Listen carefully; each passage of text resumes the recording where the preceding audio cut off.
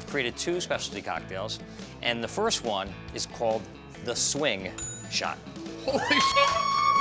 We'll start first with a glass of ice. This is for our shot.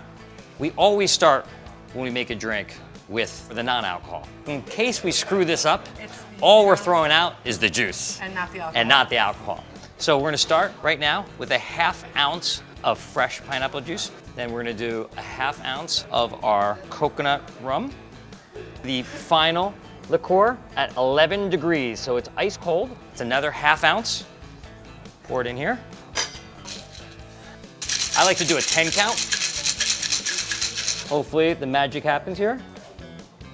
There you go. The swing shot, prepared by the new owner of the Iron Horse. Salud. That's what I like. Very nice.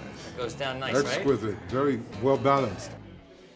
The next drink, guys, is the Iron Horse Margarita. It's jalapeno infused tequila, garnished with some melon balls and a sprig of mint. Jalapeno and spice is all the rage.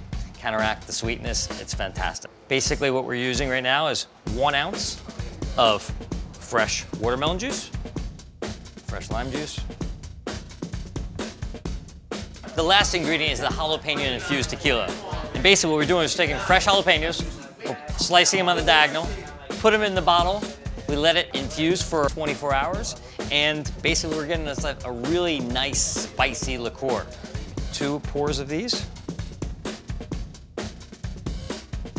I need a shaker.